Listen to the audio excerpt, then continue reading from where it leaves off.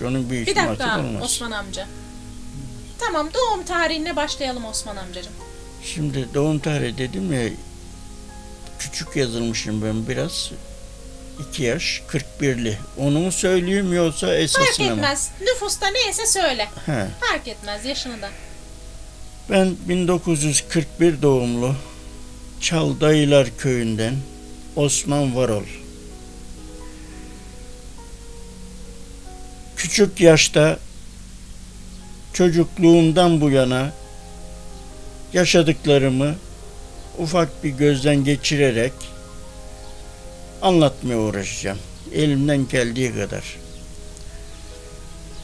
Malum ki o zamanlar okula girdik. Okuldan çıktık. Daha okulu bitirir bitirmez bitmeden bir sene önce rahmetli babam vefat etti. Bazı amaçlar vardı. Onlara ulaşılamadı tabii. Bu şey karşısında aradan bir zaman geçti. Abim vardı askere gitti. Bu askere gitti gittiğinde e, malum ki evin idaresi bana kaldı. Nedir idaremiz? Reşberlik. Bunu idare edebilmek için ben o küçük yaşımda bugün bir o yaştaki bir çocuğa dört koyunu önüne katsan kaybeder gelir. Ben dört öküz ile çiftçilik yaptım. O günleri öyle yaşadık ve askerlik çağına geldik. Askere gittik. Askerde vatani görevimizi yaptık. Sivas'a gittim önce. Oradan Sarıgamış'a gittim. Orada bitirdik geldik. Geldim burada bir sene durdum. Almanya'da o vakit yenice meydana gelmiş. Köyümüze bir araba geldi. Bütün köyün eli silah tutanı e, Almanya'ya yazılmak için gidecek. Ben de ayaklandım. Rahmetli annem oğlum sütümü helal etmem gitme. E bunu kıramadık. Atadır. Yalnız biz gizli bir yol seçtik. O zaman için tam şey değildi, sıkılık yoktu. Abim gitti, ben gidemedim denizde, gidemiyorum. Çünkü annem se- sezecek, seçecek. Abim gitti, kendisi hasta olduğu için, hani, hani dedim ya, şeyden hasta geldi askerden zaten.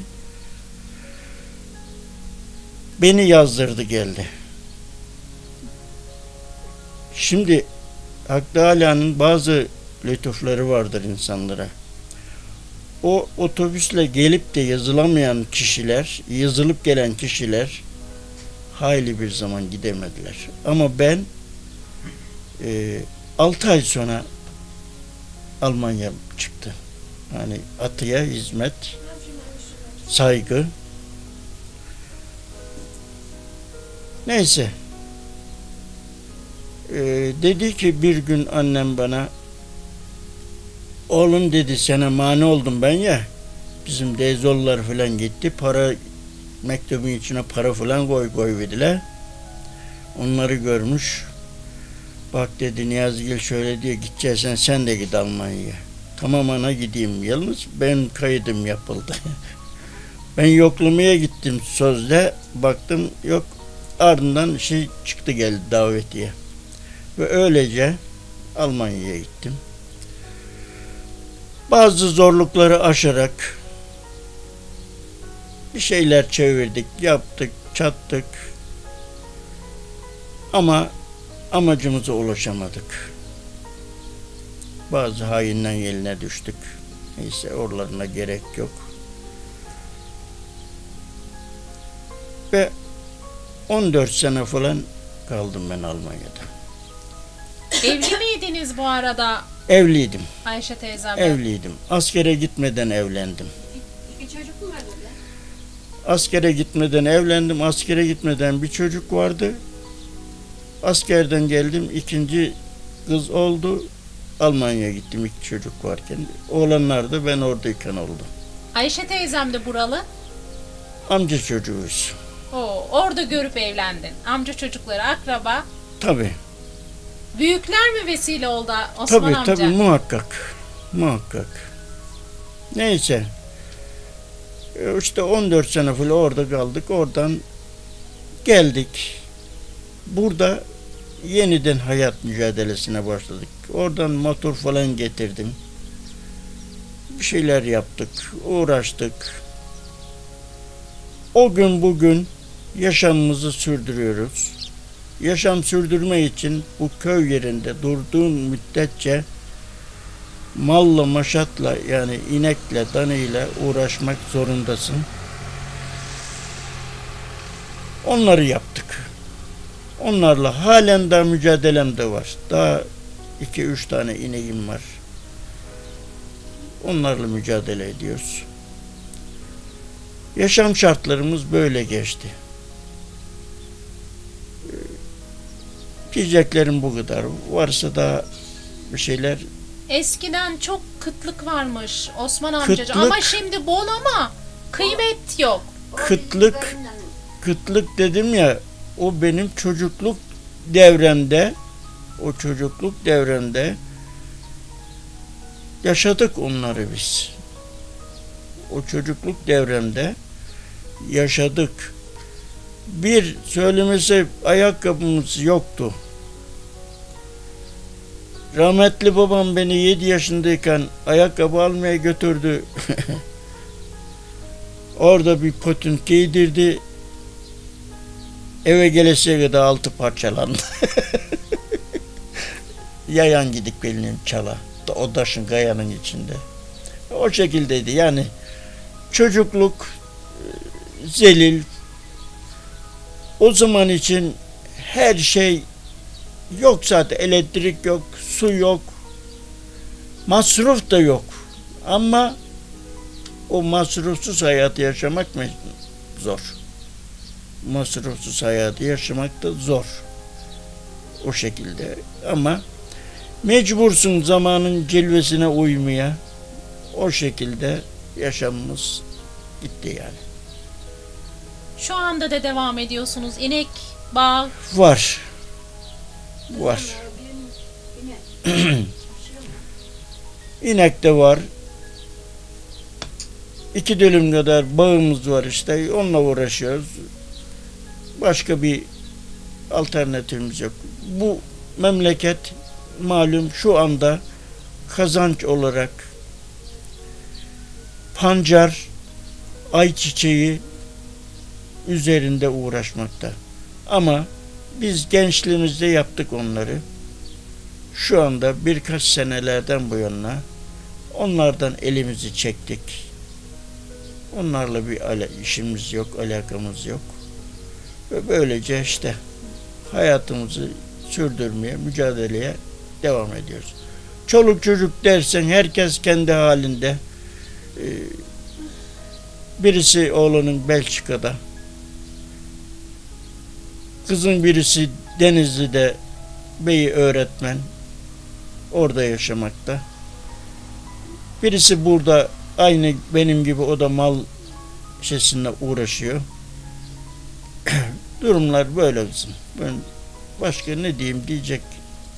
Hacı'ya gidip geldiniz mi Osman amca? Hacı'ya Allah'ın izniyle iki defa gittik. 94'te büyük haç yaptım. Ee, 2010'da Umre'ye gittik. Ayşe teyzemi de götürdü. Beraber, beraber. ikimiz de aynı şekilde.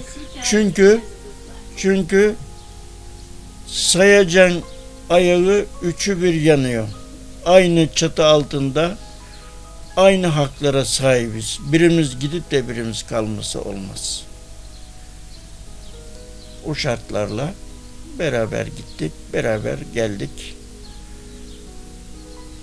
Durumlar böyle kızım. Diyecek bir şey varsa, soracağınız bir şey varsa sorun, cevaplayayım.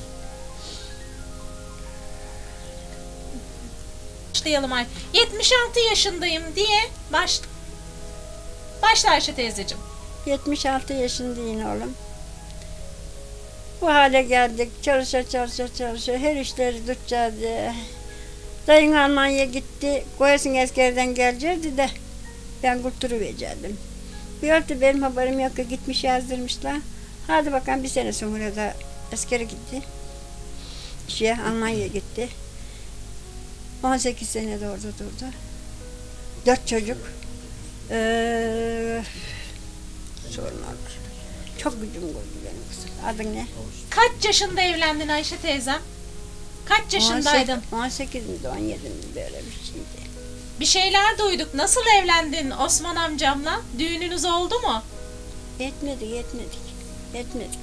Düğün mü? Evvel böyle düğün mü oluyordu? Ee, kendini e, isteyip evvel bir şey etmerken şimdi kaçtıktan gelmiş. Bu ayıp geliyordu ona. Kaçtınız mı? Ha evet ya. Diyevedi ya. Olmadı düğün mühün olmadı. Fakirlik zaten. Bir şey yok.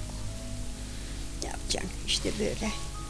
Geçirdik. Ne Annen çok sevdiği için mi Osman amcamla? Hı, hı. E kaynam da anacım tabi babam ge- babamı kaynam getirmiş o dede köyünden. O getirince onlar hiç içerdi bizcez birbirlerine aylık yapmadı. Babanım da benim bura anacım çamaşır yıkayamaya gelmişmiş. Zaten mahalle şu güzel diye şöyle alakaça alakaça alakaçarlarmışmış mahalle. Buraya gelmiş burnumda gök boncuk gibi yara çıkmış. Babam da askerde. Bunun babasıyla gittik. Eşeklere bindik de ta Ortaköy'e. O adam kocası dedi ki bunun dedi burnun çok yakma direniyor kalsın dedi. Ana ana iki üç ilen kan aktı. O işi yakarka burnumdan. Hadi bak iki buçuk yaşındaydım. Ee, evleri gözümün önünden gitmiyor. Böyle evlerin önü merdivenli şeyli, parmaklı. Hala daha gözümün önünden gitmiyor. Dedi ki bana, şey dedi, kızımı dedi, buradan dedi onlar da leblebi çıkarıyor, havla çıkarıyor, ne varsa onlar çıkarıyorlar. Bana dolduruverdiler. Bunu dedi yolda giderken ev varınca gider, ondan gel 45 gün periz vermiş beni. Hasır çulat diyorduk. Anacığım buydu kavrgasını buluvermişsin orada. Bak iki buçuk yaşındaki çocuk 45 gün. O büyüdüğü tenesini aklıma geliverince çıkarmış atmışsın. Ana ana kızım dedi zehir mi hemen önce seni zehirleyecek. Niye çıkarıyorsun dedi beni. E çıkardım attım gari. 45 gün periz yaptım ben. Hiç dostu yemeden, içmeden, iki buçuk yaşındaki çocuk. Ne yapacaksın? Böyle o, olduk. Bunu babam askerde ol- olmasa tazik tastacı şeysi hala da arzayına diyor. Mallar satamlayan gideceğim ben diyor. Bu da gideceğim dedi. Ama kafama koydum. Bak bir gün gün gün olsun gideceğim. Öyle içimden şey diyorum kızım. Kaç çocuğun var Ayşe teyzem? Dört, iki kız oğlan. Oğlanlar küçük, kızlar büyük. Ne yapacaksın anam? Başına gelen hepsini çekiyor. Eskere gitti bu. Ne yapacaksın? Çocuğa. Kaynanın kocası yok. Benimki yok. Kaynım hasta oldu. Bel hastalığından. Niye o bir acı? Olmaz. ameliyat oldu geldi şeylerde. O çalışamıyor. Ertim hasta oldu çalışamıyor. Onlar yatıyor. Ben işliyorum. Her yere. Her iş sana Her iş bakıyor. bana bakıyor. Bunca askerden geldi. Büyük kızı. Anlat diye şuradan bir kazağım vardı. Onda komşulan da vardı. Onun arkasından Tok Keravran Köprüsü'ne kadar arkamdan gelmiş. Ana diye bağıra bağıra. Ülke Bank şey. Onu araba motoru şey e, bir öküz arabasının üstüne öngenle mindir de öyle gider geldik. İmkanı yok evde zapt edemezdik. Yavrum gel. Ne yapacaksın? Her şey geliyor başına. Bu yat oraya gitti. 18 sene orada durdu. Bu malla kıyamata bana kaldı. Hı. Geldi 15-20 koyun aldı. İnek tane var gana. Dört çocuk var gana. Hep onları işledim ona. Çalışımıyla buldum. Hala devam ediyor. Hala devam ediyor anam. Ya. Ne yapacak? Tecavüz ölmüş. Diyor işte o anlattım. Onun benim şeylerimi al. Onu onardın ana. Duydun?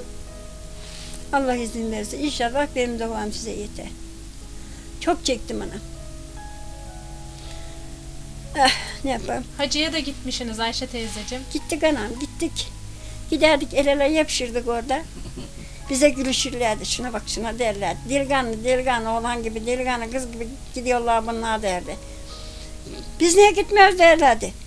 Yengine işte beş, beş sene oldu mu ne bile.